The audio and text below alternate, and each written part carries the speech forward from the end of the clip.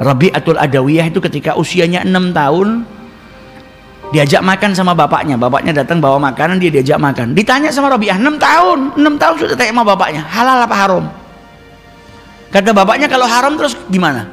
Kita nggak punya makanan kecuali ini kok. Kalau dalam fikih kan ada pembahasan tentang itu.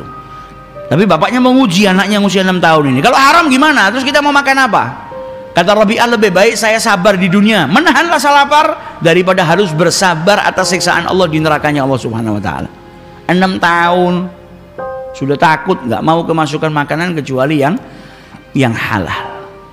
Nah, ini pendidikan siapa ya? Pendidikan orang tuanya yang soleh.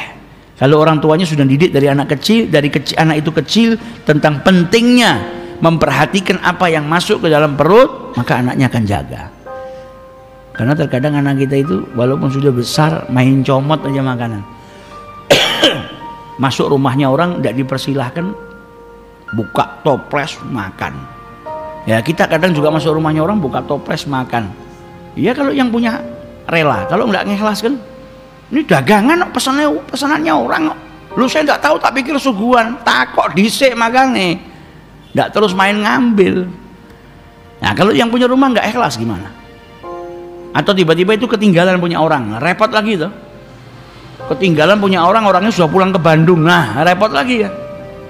Maka kalau mau makan juga minta izin.